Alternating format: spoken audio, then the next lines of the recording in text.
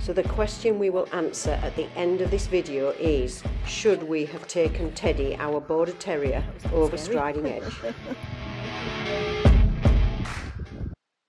Hello and welcome to this week's uh, episode. So this week we've decided to climb Helvellyn. We've done it before, but this time we're going to take a 10 mile route, uh, starting at Glenridding Car Park and climbing up via Birkhouse Moor over the very scary Striding Edge to the summit of Helvellyn, and then the route back down via Lower Man, Whiteside, Raise, and then turning back down uh, via Sticks Pass into Glenridding Beck, and finally down back into Glenridding where we started.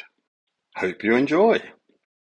So here we are driving um, just past Pooley Bridge um, and we're just coming along to Lake Ullswater which you can see on my left hand side.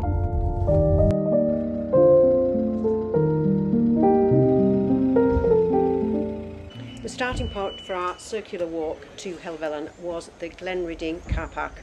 It costs £8 per day. We're trying to get some breakfast before we do our big hike and we're not allowed in with Teddy, which I'm quite surprised with it being the Lake District. Mm. It's a gentle stroll through the village, but once you get out of the village, then the climbing begins.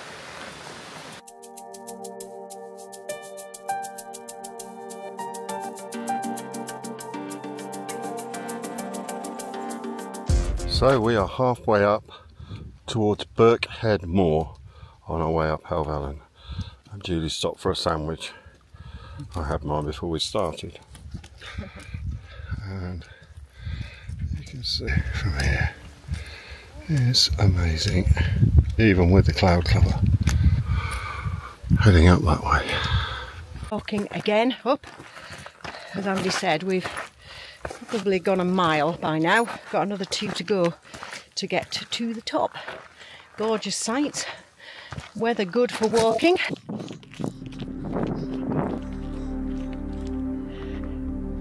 Ooh, look at that, look at that.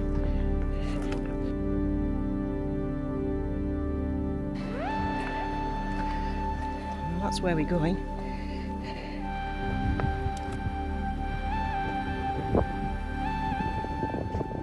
So here we are, um, we can see Helvellyn ahead of us and Striding Edge on the left and Edge on the right.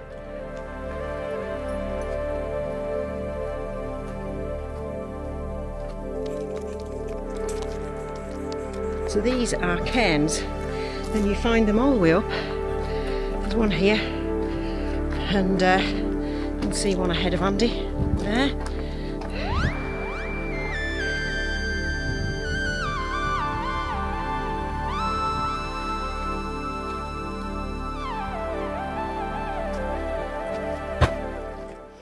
So you can now see Striding Edge in front of us. So Striding Edge is a famous narrow ridge on the eastern side of Helvellyn, one of the highest peaks in the Lake District. It's known for its dramatic and challenging terrain. We did ask Julie's father, who used to be in Fell Rescue, whether or not it was a good idea to take Teddy over Striding Edge, and he said it was no bother, lad. Um, not so sure, to be honest.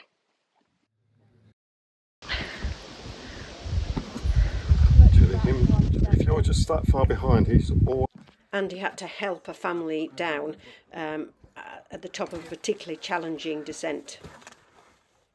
Just turn around and just face. That was scary up there. so high. Right, on your right heel on that rock. Adrenaline going now.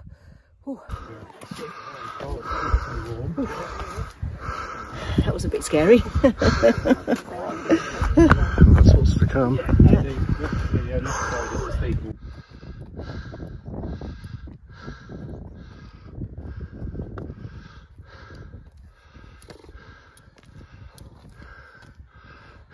I'm a bit scared. Have to say, that was quite scary coming up there, particularly with Teddy. We did know it wasn't particularly dog friendly, but manageable, I think, with a small dog. Anyway, we're here. Uh, only a bit more to go now, and then we'll be We'll be right at the top. I'll just turn around, show, show the view. You done that? No, I haven't. No, hang on.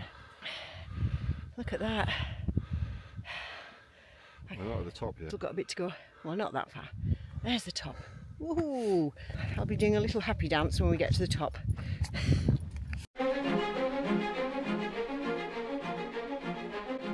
Helvellyn is 950 metres high, or in old money 3,116 feet, making it the second highest peak in England.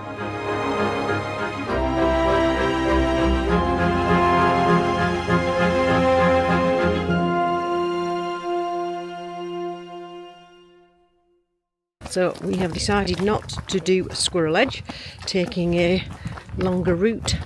Well, we've done that before anyway, haven't we? So We have. We've done Um, this route, no. Um, and should be easier with Teddy. Going up there, Yeah, and then along that path over there, yeah. up over the top, and Yeah. then back round Oh, yeah, and that. down into...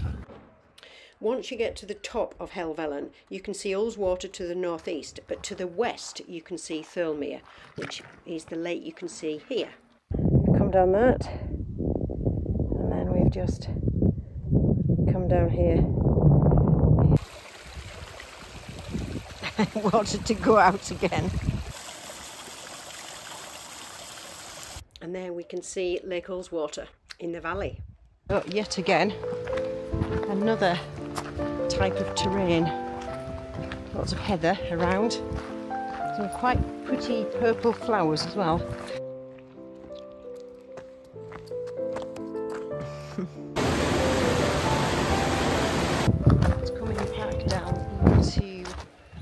Glenridding. About a nine and a half mile circular, seven hours to do that. Come on, Teddy. And after a fab hike, back in the car and back to Dad's. Hi Hi. and welcome back. I hope you enjoyed our video of Helvellyn and going across Striding Edge. We've got to now answer that question, haven't we? Should we have taken Teddy, our border terrier? And I think the answer to that is, as he's a small dog and I was able to carry him under my arm, uh, the answer is yes, with caution. Uh, if you couldn't do that, then uh, probably the answer is no. And I suppose I just need to add a caveat is uh, you've probably heard me say scared about five times. If I had done that walk on my own, I most certainly couldn't have got across myself and and with Teddy. That would have been one step too far. No, And just a, a final thing, just a big shout out to AllTrails, which is a bit like Google Maps for hiking, something that we've used on this trek, but also um, throughout from Colombia to the Caribbean. Uh, there'll be a link in the description below. See you next time. See you next time.